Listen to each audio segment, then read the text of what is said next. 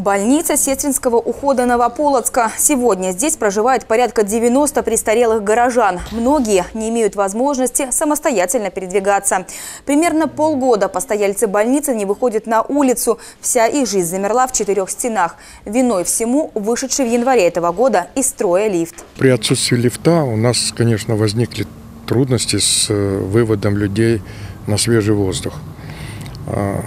В первую очередь это спуск с четвертого, третьего, второго этажа вызывает затруднения, потому что людей надо спускать в колясках, с помощью которых они передвигаются во дворе. Таких людей у нас набирается человек 20, иногда 30. И чтобы спустить своими силами, у нас просто нет возможности такой.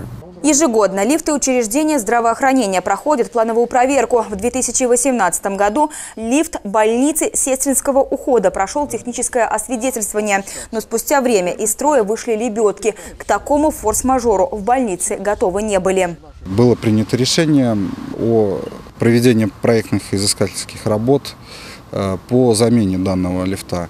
На данной стадии проект находится в Витебской госэкспертизе на рассмотрении и после рассмотрения э, данного проекта будет э, конкретика по срокам замены. К слову, по установленным нормам сроки рассмотрения проекта месяц. Отсутствие лифта становится преградой не только для прогулок на свежем воздухе, но и значительно осложняет выполнение элементарных бытовых процедур. Городские власти в курсе существующей проблемы. Сейчас в городском бюджете изыскиваются средства на замену вышедшего из строя лифта.